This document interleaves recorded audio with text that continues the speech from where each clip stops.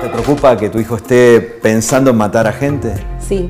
¿Qué pensás que dejó de hacer tu hijo por jugar a la Play? Eh, ha llegado a estar hasta las 4, 5, 6 de la mañana jugando. Ahí fue cuando me fue preocupando que fueran tan adictos a esta tecnología donde ellos no saben en qué momento cortar. Después están de mal humor porque no durmieron, están cansados, no comieron bien, están como un, po- un poco pasados de rosca. ¡Dale, pedazo de puta! ¿Alguna vez vino tu vieja y te apagó la compu? Sí.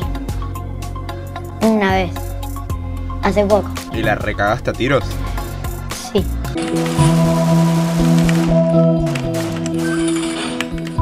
¿Sabés que es un gran momento videojuego cuando se escuchan tiros y está jugando Celeste? ¿Nunca fuiste una madre de decir, apago la compu, se acabó? Y por momentos sí, estábamos todos durmiendo y, y escuchábamos que, que Lu estaba con los tecladitos. Seguía jugando y yo escuchaba, escuchaba. Quería tratar de conciliar el sueño y, y no podía. Entonces, bueno, le, le di el, el ultimátum, escuchó y corté la luz.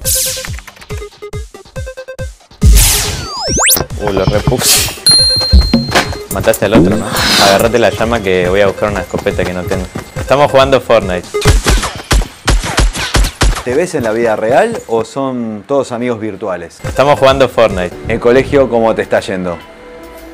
Y está. Estamos jugando Fortnite. ¿Decidiste no seguir estudiando? Actualmente sí. Eh, ¿Hablas de esto con tu mamá? Sí, me. No le agrada que bueno no vaya a la escuela porque el secundario es ¿Y obligatorio. vos, ante esa situación, qué haces? No, no apagas la compu, no la puedes apagar.